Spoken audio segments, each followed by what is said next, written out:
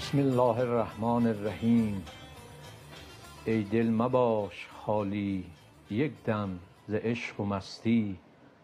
آنگه برو که رستی از نیستی و هستی. تا فضل و عقل بینی بی معرفت نشینی. یک نکته ات بگویم خود را مبین که رستی. با سلام خدمت بینندگان عزیز دوستان خوب و همراهان همیشه صمیمی برنامه معرفت.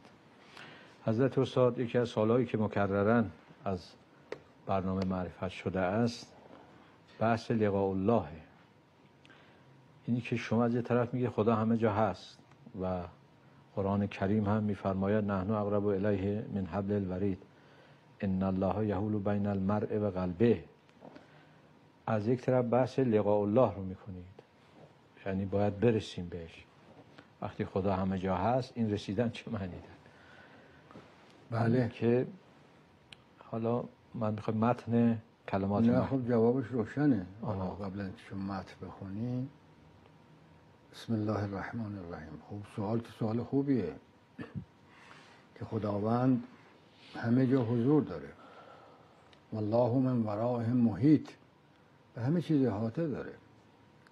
یعنی جایی نیست که نباشد و تأکید در آیات هم هست که نحنو اقرب من حبل الورید. از رگ گردن ما به ما نزدیکتر. خب این که شکی نیست.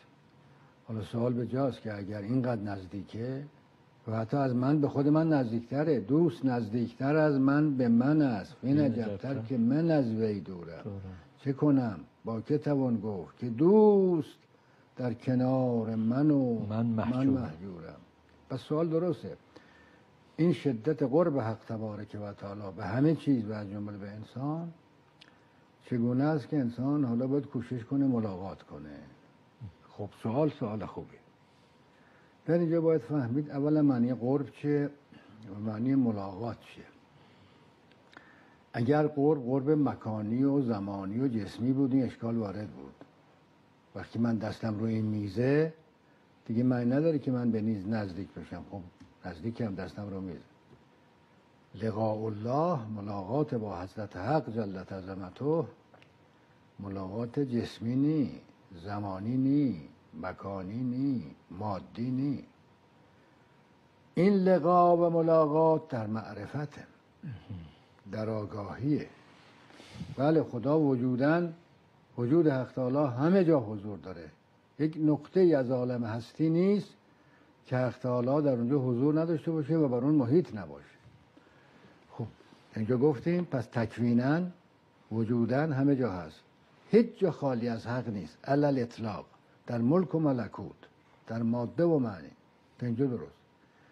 پس لقاء الله یعنی چه؟ پس دور ما دوریم از خدا یعنی چی؟ یعنی در عالم آگاهی و معرفت دوریم.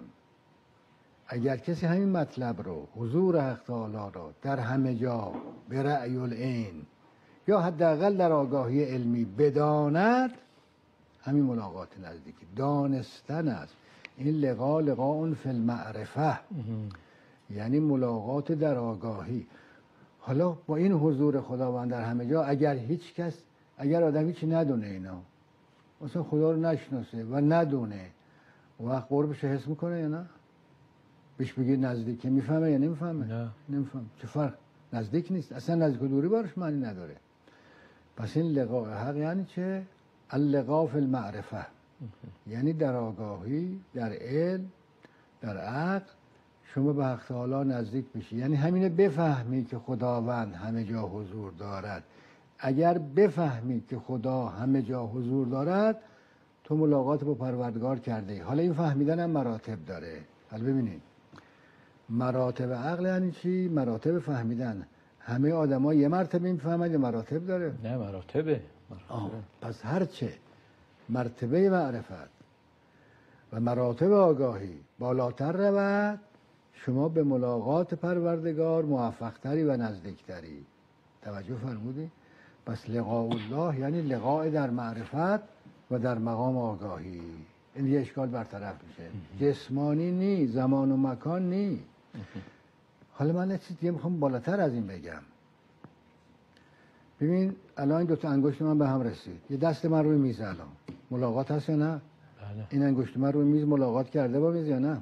بله. اگر من آگاه نبودم و حس نه حسم خودش این آگاهیه. حس پایین ترین حس نمی کردم فقط دو تا جسم به هم می‌رسن ولی حس نمی کنن این ملاقاته یا نه؟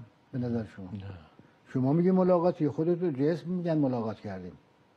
دو تا جسم ناآگاه که به هم می‌رسن با هم جفتن. اگر آگاهی نداشته باشن می‌فهمن که ملاقات کردن. نه خیر. دست شما رو میز اگر حس نکنی که خود حس مرتبه از آگاهیه پایین ترین مرتبه آگاهیه اگر حس نکنی ملاقات نه خیر. ملاقات و عدم ملاقات چه فرقی داره.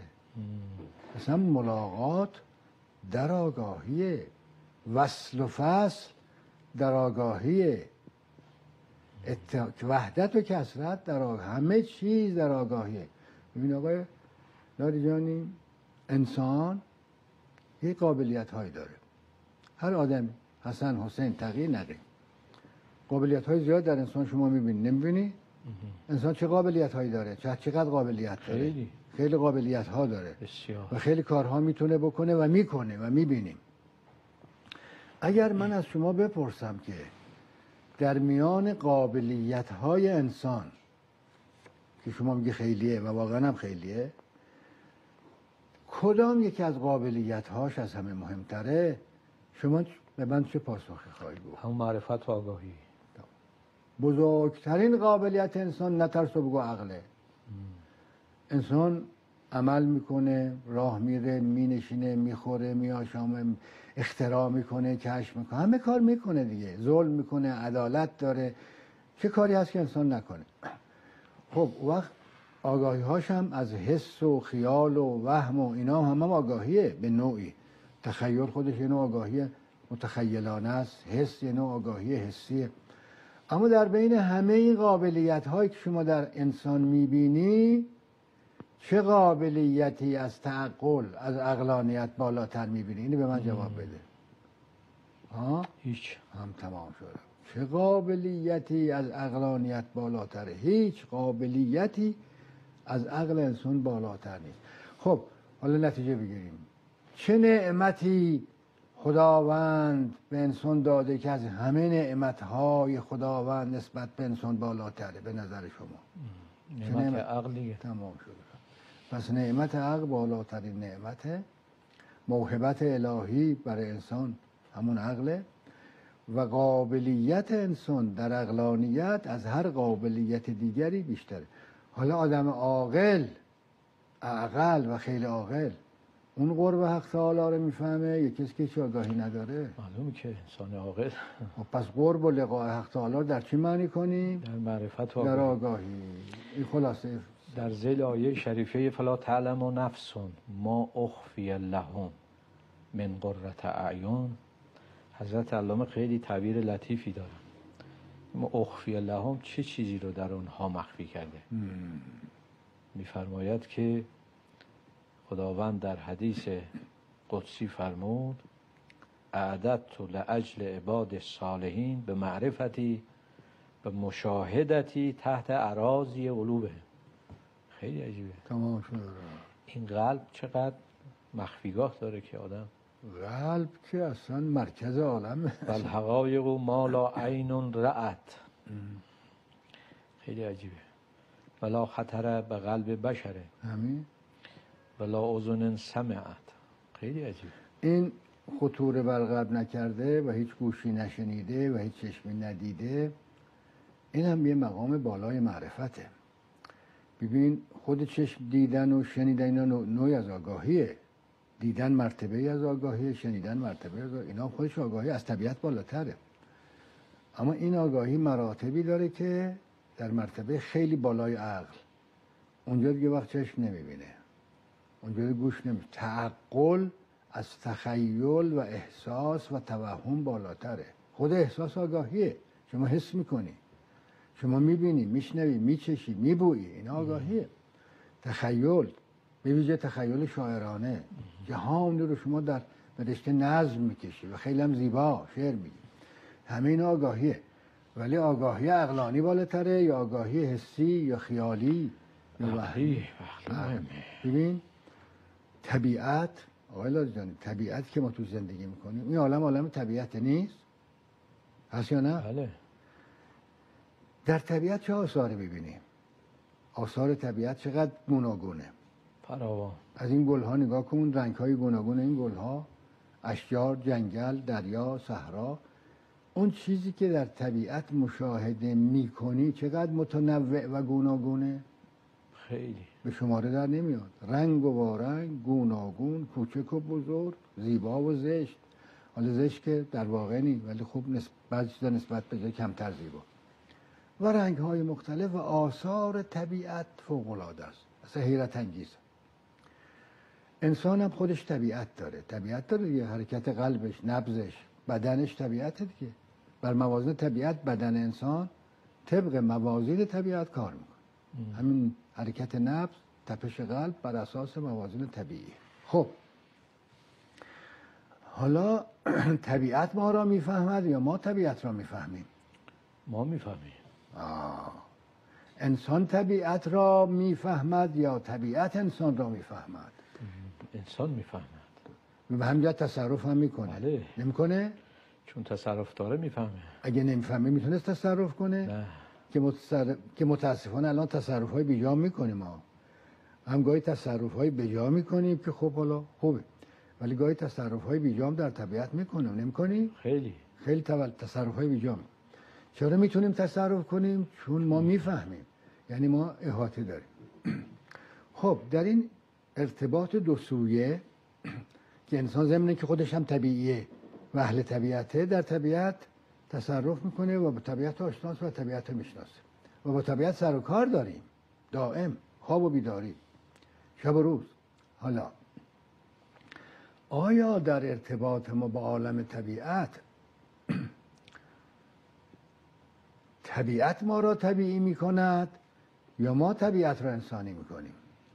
ما طبیعت رو انسانی می‌کنیم. بله. ما طبیعت را انسانی می‌فهمیم. بله. نه؟ ما طبیعت رو وقتی می‌فهمیم در واقع طبیعت داریم انسانی می‌کنیم. یا طبیعت ما را طبیعت می‌کنه و فهم ما را می‌گیره. ما. آه. انسان. بله. پس زور انسان زور که میگم منظور زور بدنی نیست. زورهایی که با مقیاس های ظاهری قابل اندازه گیری است منظورم نیست علت تفوق و برتری انسان و تصرف انسان بر طبیعت و فهم انسان از طبیعت و دیگرگون کردن طبیعت علتش فهم است و چیز دیگه؟ هم فهمه دیگه فهم. عقله. حالا قابلیت انسان در عقل بیشتره یا در نعمتهای دیگه؟ انسان از جهت عقل قابلیت بالا داره. یا به واسطه چیزهای دیگری که دارد داراست قابلیت داره.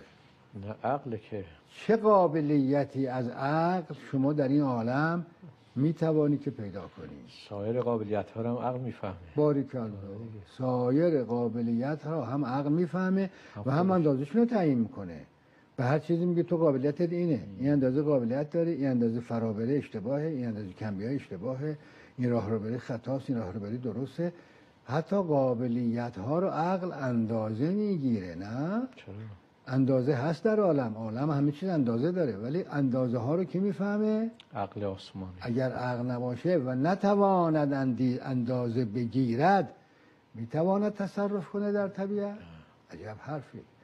یک فرمایشی داره شیخ اشراق شهاب الدین سهروردی. یه رساله اصلا داره. این رساله خیلی خوندنی و عجیبه و اسمش اصلا عجیبه اسمشو من بگم این خودش اسمش چقدر عجیبه. وقت مطالب این که زبان فارسی هم نوشته. 800 سال پیش سهروردی این رساله رو به زبان فارسی نوشته. ولی کم خونده میشه. نام این رساله هست آقای لاردین عقل سرخ. عقل سر لابد دیدی این رساله. بله. رساله عقل سرخه و جورم هست. خیلی. این رساله کوچک فارسی نوشته شده ای که نامش عقل سرخه. شما از من بپرس که عقل سرخ یعنی چی؟ بله. و چرا سهروردی نام این رساله شریف را عقل سرخ گذاشته؟ و مگر عقل رنگ دارد که سرخ باشد؟ اصلا آگاهی رنگ داره که ما بگیم سبز سرخ سیاه سفیده؟ نه. آگاهی که جسم نیست. رنگ مال عالم اجسامه. اصلا رنگ عرض روی اجسام. شما رنگ رو روی اجسام می‌بینی. ادراک سبز و سرخ نداره. به ویژه عقل ادراک کلیات می‌کنه عقل رابطه علت و معلول رو می‌فهمه رابطه خالق و مخلوق رو می‌فهمه. این فهمی که عقل داره چگونه است که عقل اسمش سرخه عقل سرخ اصلا کجاست؟ شما فکر نکنید یه عقل یه جای هست سرخه. هر عقلی سرخه. آخه گفتیم عقل سرخ فکر کنند مردم که یه عقلی هست در یه جای اون سرخه. عقلا دیگه سرخ نیستن. اصلا عقل سرخه. حالا چرا؟ چراش مهمه والا در عالم رنگ که خود عالم رنگ هم خیلی پیچی عالم پیچیده سبقت الله و, ما و من احسن من الله سبقه. اصلا عالم رنگ خیلی عالم پیچیده ها. کمتر بهش توجه کردن که عالم رنگ عالم پیچیده است. که این تنوع رنگ های گوناگون اختلاف رنگ ها چگونه است؟ اینا بحث شده البته در علوم بحث کردن حرفی ندارم. ما وارد اون بحث نمیشیم. که اصلا رنگ ها چرا با هم اختلاف دارن؟ چرا سبزه چرا سرخه چرا سیاهه چرا سفیده اصلا رنگ چی هست ماهیتش و چرا رنگ ها اختلاف دارن؟ خب اونی که گفته شده تا حالا میگن رنگ سرخ ترکیبی است از سیاهی و سفیدی. اگر سیاهی رو با سفیدی بشه جمع کرد دو رنگ را حاصل ترکیب سیاهی و سفیدی سرخ میشه. اینو گفتند قدما. حالا امروزی نمی‌دونم چی میگن. شاید زبان امروز زبان دیگری باشه من نمی‌دانم. این چیزی که حکمای سابق گفتن. خب پس سرخی حاصلی است از سیاهی و سفیدی. حالا چرا عقل سرخه؟ آه. عقل از این جهت سرخ است که عقل در حد ذات روشنه. و اگر روشنه سفیده نه؟ عقل در حد ذات سیاه سفیده. العقل نور. نور. نوره. نوره. در حد ذات روشنه. درسته؟ به حسب ذات روشن اما عقلی که در ذات خودش و به حسب فطرت ذات خودش روشنه و سفید می نماید در تن که جسمه با تن یه ارتباطی داره.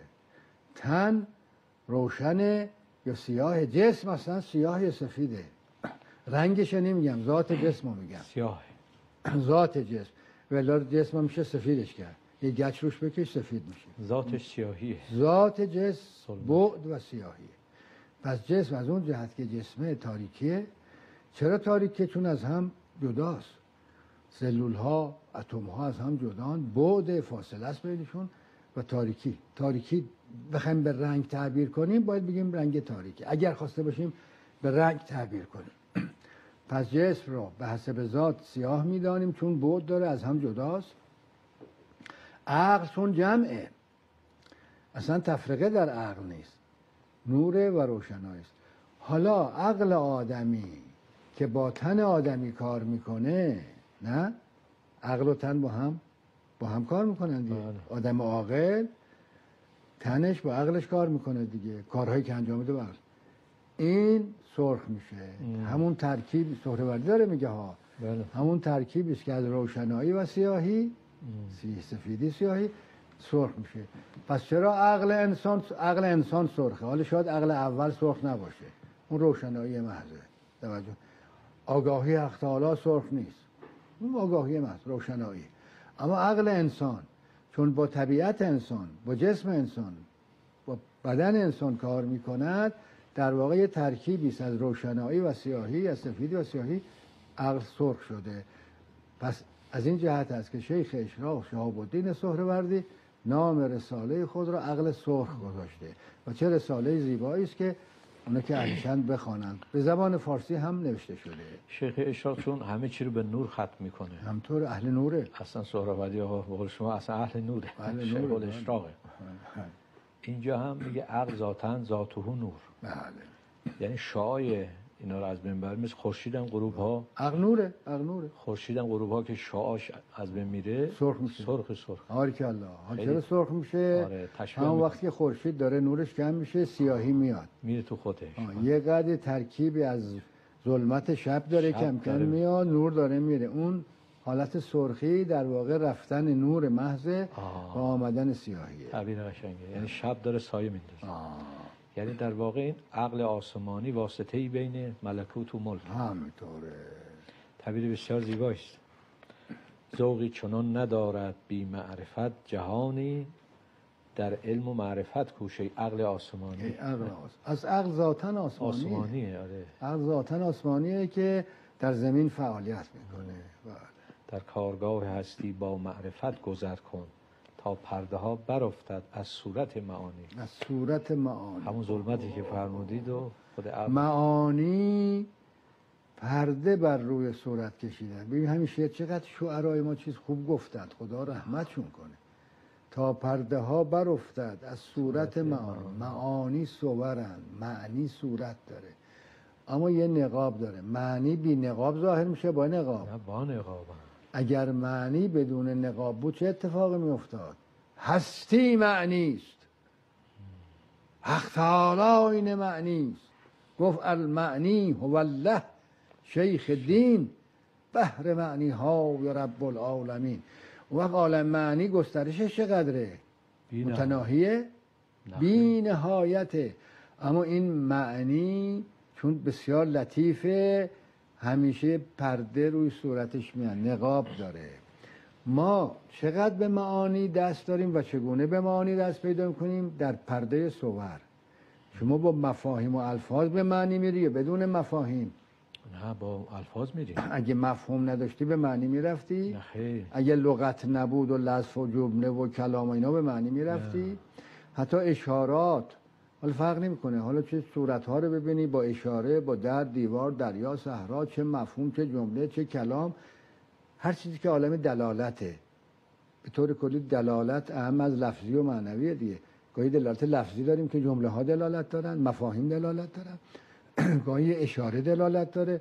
گاهی منظری که می‌بینی دلالت داره. عالم دلالت خیلی عالم پیچیده است ما از صورت ها به معنی میریم. و به معنی مطلق راه نداریم. معانی در پرده های صورت در چهره ها در قالب الفاظ و مفاهیم به اندازه فهم ما برای ما ظاهر می شوند و چقدر می توانیم به معانی راه پیدا کنیم؟ به اندازه که فهم داریم. بیش از فهمم می‌تونم به معنی راه پیدا کنم خیر یه آدم بیش از فهمش به معانی راه پیدا می‌کنه؟ نه خیر. به اندازه فهمش با عالم معنی آشنا میشه. عالم معنی چقدر گسترده است. لا ای خدا جون را تو بن ما اون مقام که در او بی حرف می‌روید می‌روید کلام. حالا اگه اون جان پیدا شد بی حرف به معانی برسه که دیگه نور بوده. داره جان آدم. چه استعدادی داشت جناب مولوی که بله. از خدا می‌خواد که خدا رحمتش کنه. خب خیلی خوب میفهمیده. بله. یعنی از الفاظ معانی رو خوب می‌فهمید ولی تشنه معنی بود. هی دلش بخواد بیشتر به معنی برسه. معنویه مولوی معنوی بهش میگن. برای چی بهش میگن؟ همین. بهش میگن مولوی معنوی. ای تو دریای معانی فسخنا تشنه آب معنیه. هم تشنه دریای معانیه بله. ای تو آب زندگانی فسخنا ما. سبوهای نیاز آورده ایم نزد تو ای خضر ثانی فسخنا واقعا. واقعا آدم تشنه معانی باشه چقدر خوبه. واقعا. بله. یه میان برنامه ببینیم از استاد بسیار خوب حضرت استاد. خداوند کریم هم در مورد لقاء خودش تو قرآن خیلی آیات هست. تقریبا 16 17 آیه هست که ناظر به این معناست. حالا یکی دو مورد من می‌خوانم. بله بفرم که ناظر به همین بیان حضرت عالی است. که خدا به لحاظ هستی شناسی بر همه چیز احاطه داره. اصلا حقیقت هر چیزی است. و به لحاظ معرفت شناسی ما باید به خدا برسیم. آره معنی لقا همون معرفت الله خیلی تعبیر زیبایی است. مثلا سنوریهم آیاتنا فی الافاق و فی انفسهم حتی یتبین لهم انه الحق. انه علی کل شیء شهید. بعدش قبلش می اولا یکفی بربک انه علی کل شیء شهید. یعنی از پیامبرش انتظار داره که خدا را در هر چیزی شهید ببین الا انهم فی مریت من لقاء ربهم.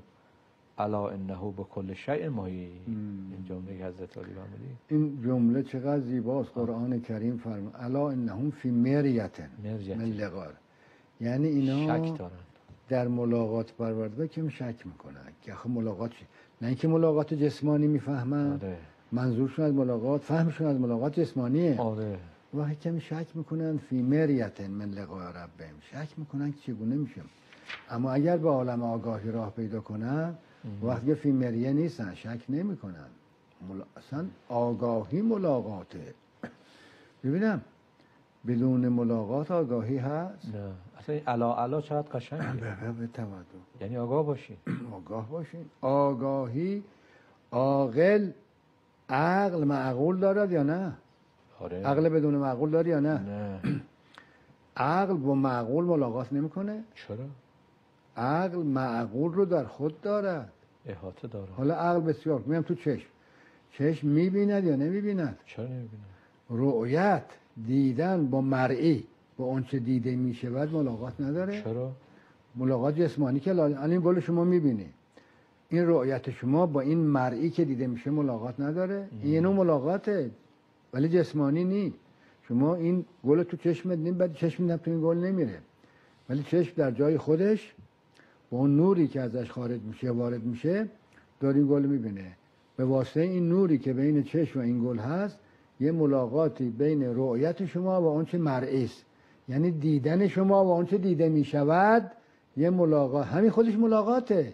اما این ملاقات آگاهانه است. این ملاقات دیدن شما در آگاهی یا در جسمه؟ در آگاهی. عضله چشم هدقه چشم این گل می‌رسه یا این گل میره تو هدقه چشم؟ یا خود رؤیت این ملاقات رو برقرار می‌کنه؟ رویت این ملاقات رو این دیدن ملاقات هست یا ملاقات نی چرا؟ پس چرا فی مریت من لقاء ربه؟ مریت چرا؟ چرا شک؟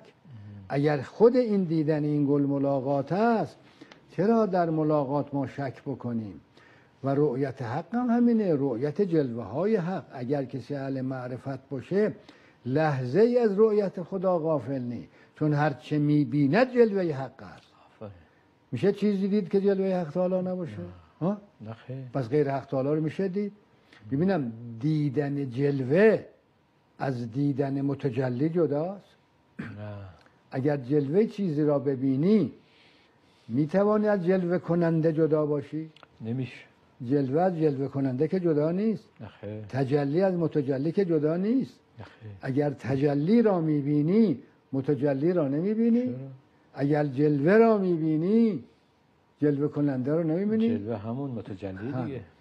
همین که شما اول فرمودی. شما مصنوع که می‌بینی سون هم ببین. آه. آه مصنوع ببینی سون نمی‌بینی؟ عجب.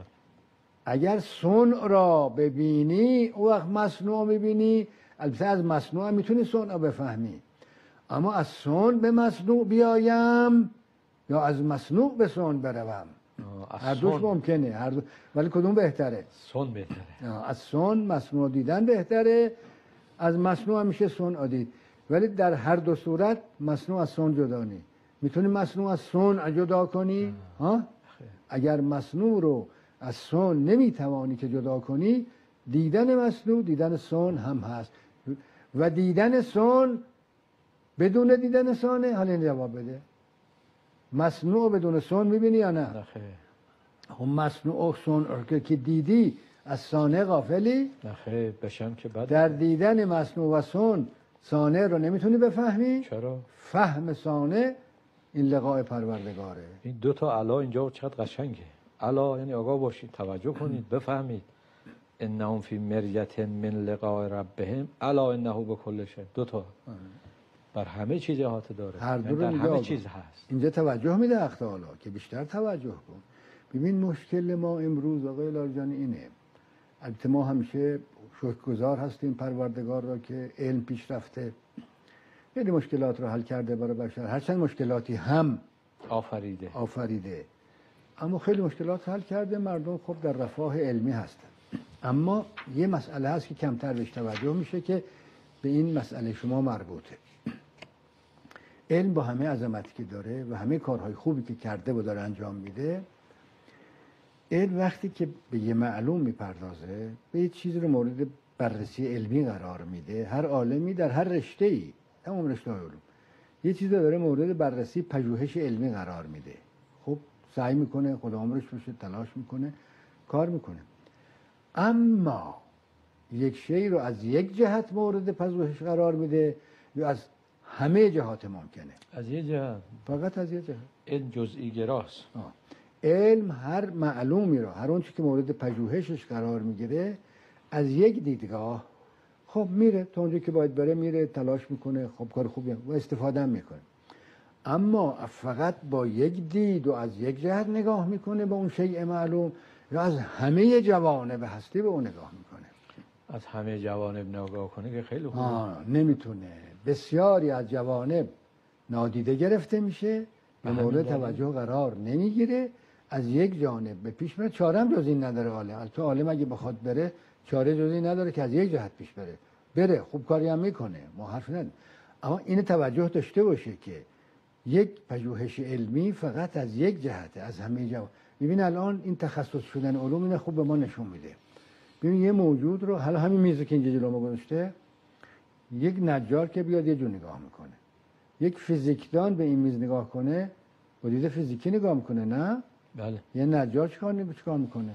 یه نقاش یه جور نگاه می‌کنه. یه هنرمندم یه هنرمند. آقای مراجعات اینجا گذاشتن یه جور تمام. شد رفت. هر آ... یه شیمیست بخواد نگاه کنه چه جور نگاه آره. می‌کنه؟ زاویه دید یه شیمیست با زاویه دید یک فیزیکدان با زاویه دید یه فیلسوف با زاویه دید یه زاهد یه عابد اینو متفاوته. هر کسی از زاویه دید خودش نگاه کنه و درست هم نگاه می‌کنه.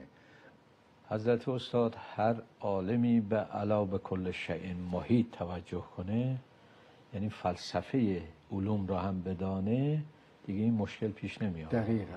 آره. وقت علاوه کل علاوه کل شیء. علاوه کل شن محیط حق را محیط دیدن از همه جوانب دیدن با چه نگاهی می شود همه جوانب رو دید؟ دید الهی. فلسفه و مظهر دید الهی عقل وسیعتر می بیند یا چشم؟ عقل. عقل وسیعتر می بیند یا خیال؟ عقل عقل. عقل وسیعتر می بیند یا وهم؟ عقل دیگه عقل سلطان. پس برای اینکه وسیعتر ببینیم احاطه رو بیشتر ادراک کنیم با عقل نگاه کنیم یا با چشم؟ نه دیگه با عقل. پس تجربه بکن. با تجربه کار بکن. با تخیل شعر بگو. همه کار بکن. اما سرانجام یک دید عقلانی هم داشته باش. بینداز دید عقلانی احاتش از هر وسیله ادراکی دیگری بیشتره. و سرانجام ما با عالم عقل رو, بکن رو بیاوریم. به اینجا می‌رسه که به هر رنگی که خواهی جامه میپوش. که من اونقدر رعنا می‌شناسم. یعنی جلوزی جلوش جدا آها. نیست. این گوناگونی جلوه ها رو هم میفهم عقل می‌فهمه. چه لذت می‌بریم وقت ببینم این گوناگونی ها خوبه در عالم یا بده آقای لاریجانی؟ خیلی خوبه. یه سوال می‌خوام بکنم. که این چون خیلی وقت این سوال میشه برای مردم شبه هست شبهه جبر و تفریز میگن چرا اون اینجوره چرا اینجوره؟ یه گله دارن که چرا من مثلا این چرا فلانی اینجوره این نعمت داره من این ندارم چرا من اون چرا رنگ من سیاه رنگ او سفیده و الی آخر از این قبیل سوالات. هست دیگه ها؟ دو تا لغت من می‌خوام بگم یه استفاده بکنم. شما تبعیض رو به کار می تبعیض معنی داره یا نه؟ بله. تبعیض یعنی چه؟ تبعیض قائل شدن یعنی چه؟ بله دیگه فرق قائل شدن. مثلا یه رئیسی یه حکومتی یک هر کسی یه صاحب خانه یه مدیر خانه بین اعضای خانواده تبعیض قائل بشه. یه حکومتی بین افراد کشورش تبعیض قائل بشه. تبعیض که می‌دونیم. بله.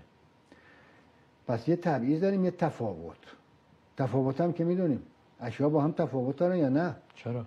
نباید تفاوت داشته باشه چرا؟ خب. بین تفاوت و تبعیض چه فرقی هست؟ مم. تفاوت که اون شکل و هیکل طبیعی موجودات باید باشه. و حتی در واقع هم تفاوت. هست بله. خب. اما تبعیض این کسی از جای خودش قرار ندیم. آره جا به جا بکنیم. پس تفاوت ها حقه. حقه. می‌خوای بگی تفاوت در عالم نباشه؟ یعنی می‌خوای بگی؟ چرا چرا؟ و اگر اصلا در این عالم تفاوت نبود خوب بود یا نه؟ نه. ها دریاب دریا صحرا صحرا کوه کوه نه؟ و السنتکم. هم. یکی از آیات خدا همین همین هم زبان ها مختلفه هم جمادات نباتات رنگ‌ها، بله. چند نوع درخت داری چند نوع برگ داری چند نوع گل داری چند سفیدی رو بر سیاهی. هیچ این تفاوت ها پس لازمه. ها؟ تفاوت و بر زیبایی عالم در این تفاوت هاست نیست؟ آره. تبعیض خوب نیست. تعویض بده. تبعیض یعنی چی؟ یعنی هر چیزی رو در جای خودش نشناسی. ننشانی. ننشانی. آره. یعنی یه چیز رو جای دیگه قرار بدی که جاش نیست. نیست. تبعیض بده. چیزی رو. در جای خود ننشاندن یا اگر استحقاقی دارد یک موجود در یک جای اون استحقاق رو در نظر نگ- نگیری این تبعیضه. اما تفاوت ها رو باید ببینیم و تفاوت ها هم باید باشن. پس ما همواره اگر این کلمه رو به درستی خوب توجه بشه کنیم که بین تفاوت ها و تبعیض ها یک تفاوت قائل بشیم یعنی از هم جدا ببینیم خیلی از. سوالات پاسخ خودش رو دریافت می‌کنه. یکی از آیات دیگر خدا که واقعا هم دل می‌بره سوره رد آیه دو. الله الذی رفع السماوات به غیر عمد ترونه ثم استوى على العرش و سخر الشمس والقمر. كل یجری لأجل مسمى. یدبر الامر یفصل الآیات به به. لعلکم به لقاء ربکم توقنون. تمام شد. چه انتظاری داره خدا از ما؟ آقای لارزینی در همه این آیه مفصلی که شما قرائت کردید که خیلی مطالب عجیب عجیب توشه. و هر جملهش عجایب داشت من روی جملهش می‌خوام تکیه کنم. رفع سما سماوات رو بالا قرار. به غیر عمدن. ترونها من روی این جمله تکیه کنم بقیه جملهاش دریا حرف داره. عمد یعنی ستون. یعنی آسمان بالاست کرات آسمانی بالان یعنی بالان الان این سقف که بالا ستون داره یا نه؟ این سقف بالای ما ستون داره یا نداره؟ آره. اگه این ستون رو نبودن سقف بالا بود؟ نه. پس این سقف رو ستون هاست. میگه این آسمان ها کراتی که می‌بینی بالاند. اما ستون ندارن. و نمیگه ستون ندارن ظرافت آیه رو توجه کن. نمیگه ستون ندارن به غیر عمد ترونه ها شما نمی‌بینی. یعنی ستون هاشو شما نمی‌بینی. سبحان الله چقدر زیباست آیه نمیگه به غیر عمدن. نمیگه اینا بالاند ولی ستون ندارن. به غیر عمدن ترانه ها ستون هایی که شما نمی‌بینید. یعنی در واقع ستون دارن ما نمی‌بینیم.